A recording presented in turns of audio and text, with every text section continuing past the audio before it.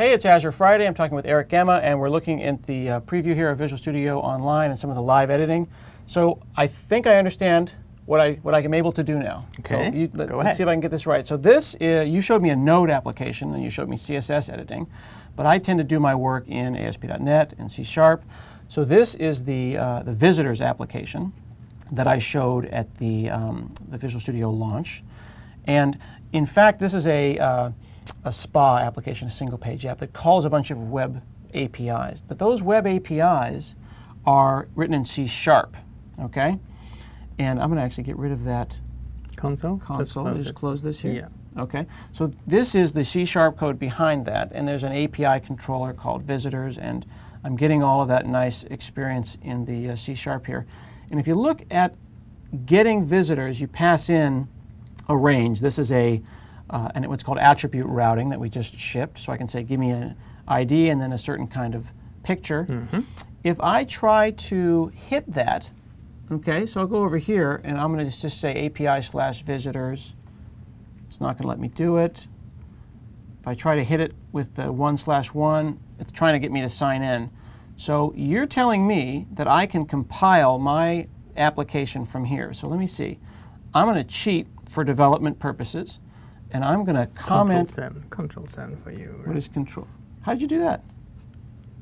Control seven. So that's that's like Control K, Control C, what I'm used to. Right, exactly. So you have no, Control 7. no coding yet. Oops. Yeah. No cording. I think I hit Control 7 and I switched to the seventh tab. There you go. And I don't have to hit save. I notice I've been I've been habitually hitting No, Control S. but you see the, the Git got update. You have now going changes. Your little change bar here. So Ah. things are good. Things, are good. yeah. Okay. So then I Go to could the go and say open the console. And How do I do split screen? Uh, you can either do a control click, right? Do a control click. Yeah, okay. You want to see the source as well? I want to have them side by side. Sure. Let's do that then. And you just do the control click here. Oh, control click gives me split control is always split, but you can also do whenever you open thing, you can say, and then if you want, you want it left or right, right? You, Well, that's great. I like your, it. your choice. This what is good. Do, right? Oh, you actually can drag the whole thing? Yeah, yeah. So but you're this just- is an old you're having too much Not fun showing version, off. Not in this version, sorry. So I'm going to type MS build. Now let me actually just type PWD here. Do I, can I do No. I'm sorry. PWD. What do you want to do? I want to know where I'm at. I'm at, I'm at slash, yeah, slash, yeah. Which is the root of my Yes, yes. application. PWD, I wanted to print working directory. I see, I see, see. So I'm just typed MS build. So it really ran the real stuff. I can MS build slash question mark. Is this real? Yeah, look at that. That's really MS build. So I just built that, Yeah. compiled it. Yeah. So then I should be able to go back in here. And now since I removed authorization for development purposes, I'm going to hit API slash visitors. And look at that. And behind the scenes, now the site got restarted, whatever, on first request and so on. Mm-hmm. Yeah, that's just ASP. Right. Because that was Antares and, and those things doing their jobs. right. Yeah. Site got restarted. Yeah. That's fantastic. So I've got the ability to have my type checking, my syntax checking on the client side using those language services, but then a proper compilation on the server side for my C sharp. But truth in advertising, right? You didn't get IntelliSense, right?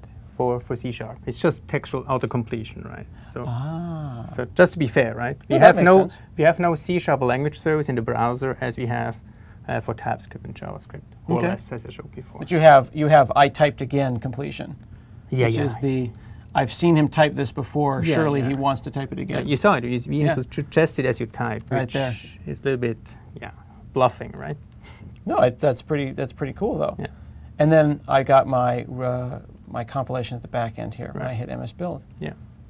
And then I could then commit it Yes. to dev and then push it to production. Exactly. You can set it up even if you commit it. Antares supports that you auto commit, right? You can set up a website whenever you Oh, push to right. GitHub. Yeah, the- calls the hook. yes, exactly. You know, the thing that I like about this is that the, the Antares and the Kudu experience existed, and this, this integrates in that in a way that is, that is comfortable. It, it, it fits, it belongs. Initially, I was thinking, I don't see how this fits in my workflow. I don't want to edit in production. But now I get it. You do it not in production. You do it not in production. It has nothing to do with editing. And actually, the architecture builds right on top of Kudu, right? Kudu Yeah. made an extension that you can run Git on the side of your website, Hmm. and we are just another what we call a site extension. Monaco is yet another of these extensions to the website uh, that you can run in a website. So it's the Kudu on Antares extension architecture we're using do an integrator. So you're a peer to Kudu. yes, peer to Kudu exactly. Yeah. Very cool. Yeah. And you can check this stuff out. Log into your portal. Uh, when uh, by the time this has been been viewed, this will be available for people to take a look at. yes, yes. Very cool. It's Azure Friday.